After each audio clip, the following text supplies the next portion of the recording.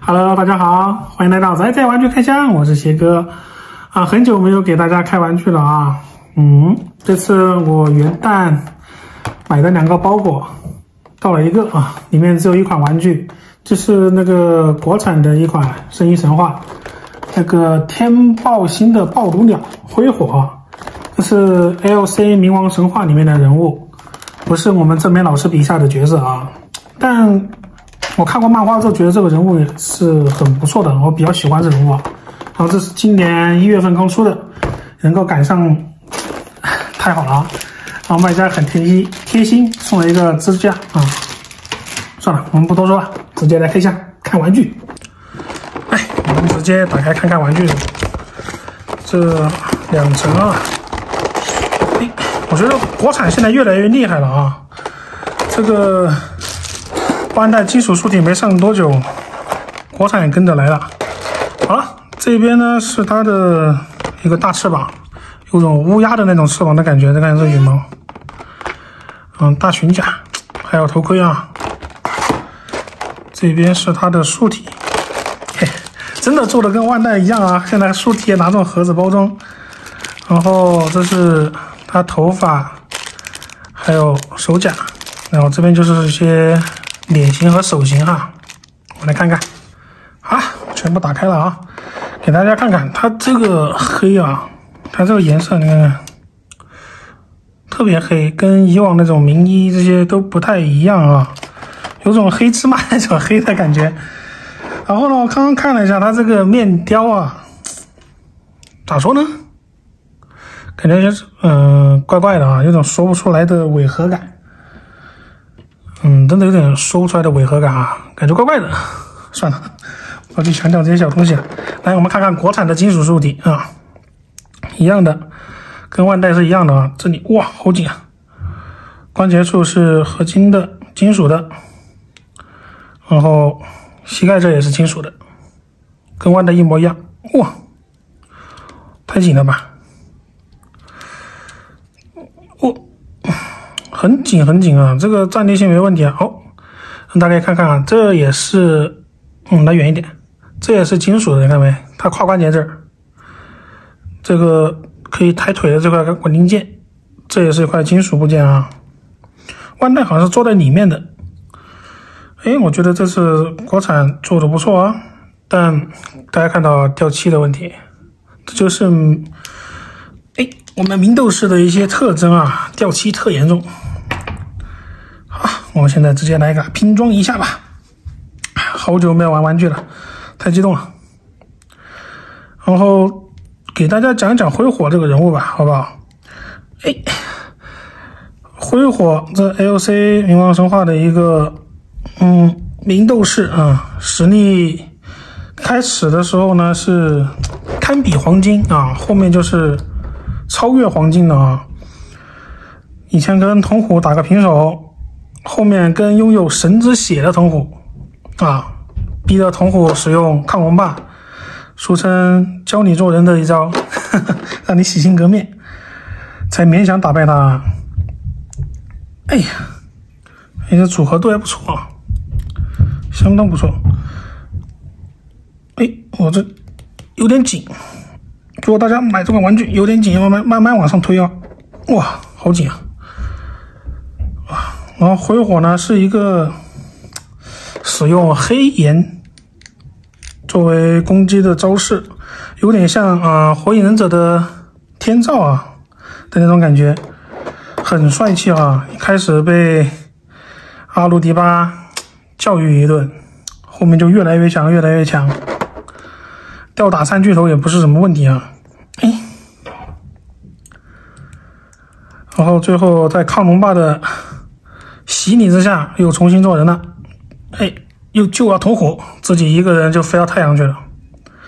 然后在这呢，可能有一个我自己的一个小看法啊，这个暴龙鸟呢，可能是凤凰 座的一个前世设定的样子。嗯，怎么说呢？因为在看漫画的时候啊，这个灰火跟铜虎一起飞上宇宙的时候呢，他开始被洗心革面了嘛。洗心革面之后呢，呃，他就转性了，然后他背后的那个翅膀啊，这个翅膀下面就伸出了凤凰的那种羽翼的感觉。就然后说的话是什么啊？如果你们没有办法救那个亚伦啊，就是冥王嘛，他会再次复活回来，由他来保护亚伦。哇，这种设计感觉就很像。呃，圣斗士的这个一辉跟顺啊，顺也是作为呃哈迪斯的容器，一个转身容器，然后哥哥一辉啊，圣斗士，这个设定很像，然后正好在 L C 冥王神话里面呢，又没有凤凰座，凤凰座没有出现过，然后这个灰火这个暴乳鸟呢，在郑美老师的笔下呢，也没有出现过，然后圣衣还。格外的像，一会儿我给你大家看看啊，这个灰火的这个名衣和一会的这个神圣衣，凤凰座神圣衣特别特别像。我看过好几次啊，以前看漫画的时候觉得为什么那么像，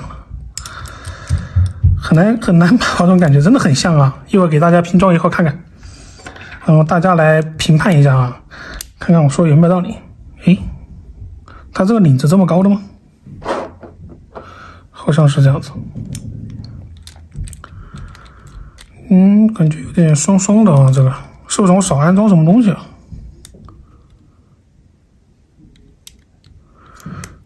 算了，一会儿再看一下吧，我们慢慢来。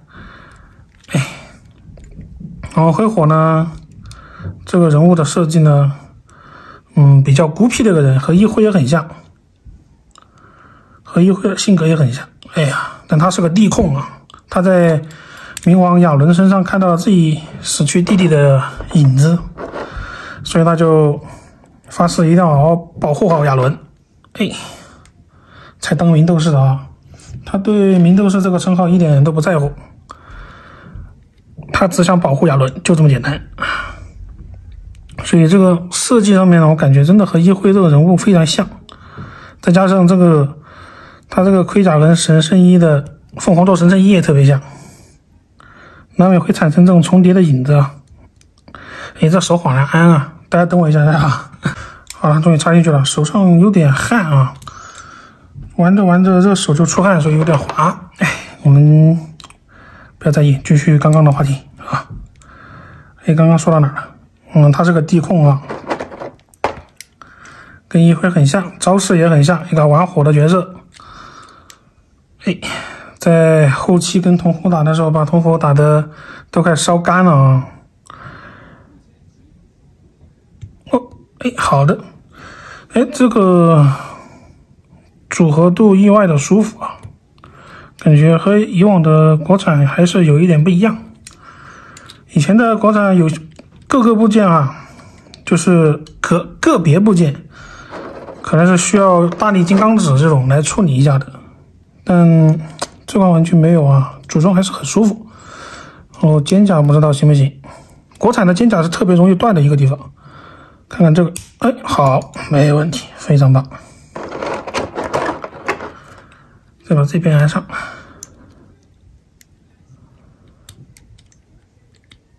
哎，好的，好，很棒啊，安装很舒服。好，最后就是它的大翅膀了。大翅膀的话，我可能要先。把它放在一边吧，大家可以看看它这个翅膀啊，非常巨大。这摊开看看拉开之后大概多大？哦，它这种是，哦，有种折叠的那种感觉，看没？这是弯曲的一个幅，大概有一个五十度的样子，五六十度吧。哎，展开的度数不是很多啊，算了，不管它。然后背扣。安装这个就得注意了，这个是塑料的啊，如轻轻的安啊，不要太用劲儿，因为这些地方可能会折断什么的啊，所以大家先等一下，我把它安箱一下啊。好，我把它翅膀先弄上去了啊，大家看看它翅膀非常的巨大，摊开，哇，大家看看啊，我手掌手指在这儿，看差不多等于一个，哇。差不多就是一个小臂的距离啊，这翅膀非常的巨大，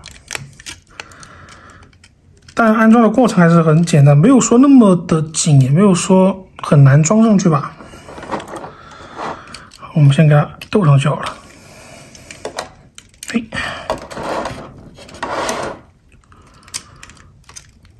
哎，嗯，这个背扣有一点点松啊，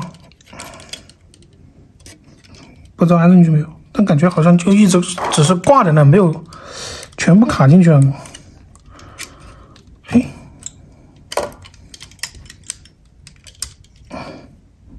好，现在应该是好了。好，把盒子先放到一边。这大概就是这样子就出来了啊。我们再把它的头给弄好。我看看啊，这是不用带头的，不用带头冠的。那这样子的话，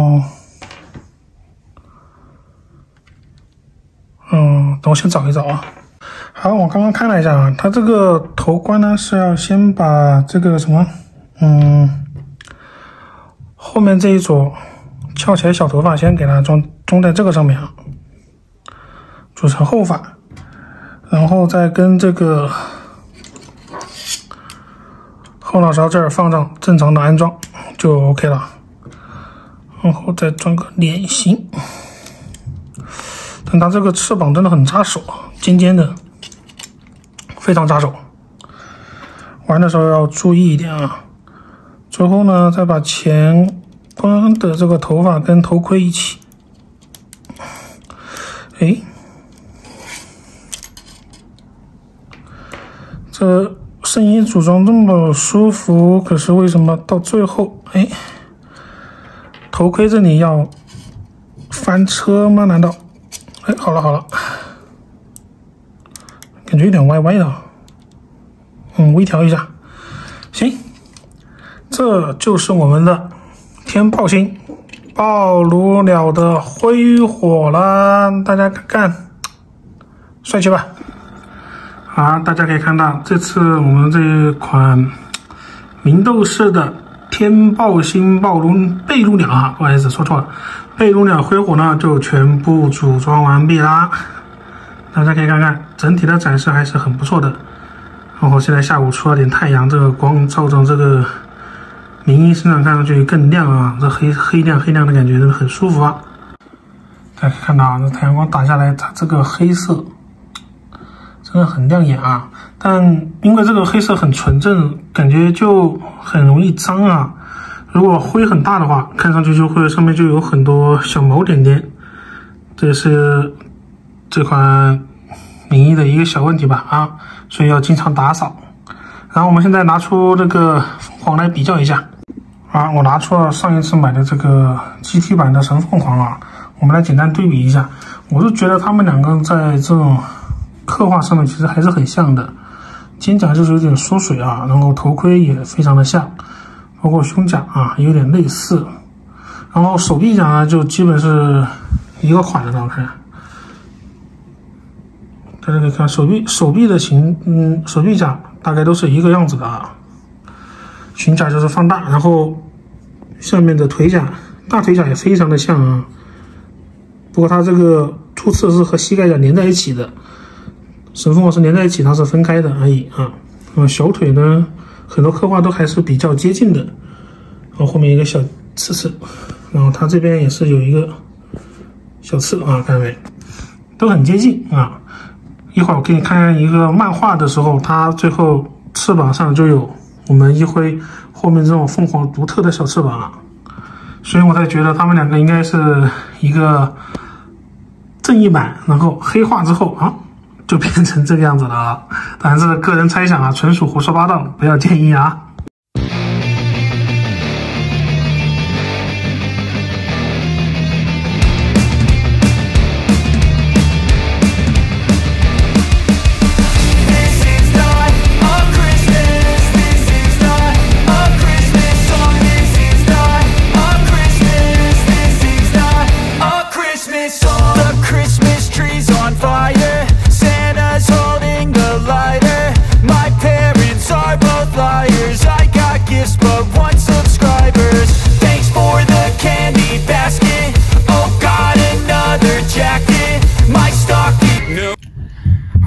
这就是我们今天这款天豹星贝龙鸟灰火的全部展示了啊。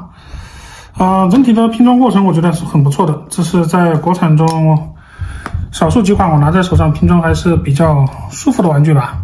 啊，安装呢也没什么问题，就它这个翅膀啊，这有一点点的松，松是松在这个金属的连连接件这里啊，有一点点松啊，但不影响。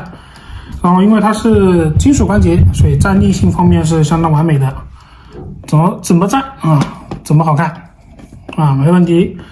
然后在它这个名衣的表现方面呢，我也非常喜欢。然后它这种黑呢是黑的非常的纯正的那种黑啊，然后黑的闪闪发光，非常的漂亮啊，我比较喜欢这种啊。然后就是它裙角有点松，嗯，哎，其他的呢我觉得还好。脸的话呢，嗯，就不多评价了吧。这个大家也知道，这个国产对脸部的刻画其实一直都差一点点意思啊。其他我觉得很棒啊，但这款玩具我觉得这个价钱有一点点贵，可以大家如果有兴趣的话，可以再等一等，观望一下啊。我觉得有下降空间的这个价钱，哈 哈对大家。如果喜欢，可以等一等，然后再收入这款玩具，我觉得不错的啊，这款大翅膀展开啊，非常的帅，非常霸气啊！然后期待我其他的包裹赶快到啊，像我的睡神啊，还有紫水晶这些都在另外一个包裹里面啊。哎呀，搞不懂快递公司怎么弄的，一起发的包裹只先到了一个。行，好了，那我们今天视频就先到这里吧。我其他包裹到了之后，我再给大家继续摆拍开箱的视频啊。我的视频呢，啊，真的只会迟到，但绝对不会不到啊。也希望大家多多支持一下鞋哥的频道。我们买个玩具其实也不容易啊。好，我们谢谢大家的观看啦，我们下期视频再见。我是鞋哥，拜拜。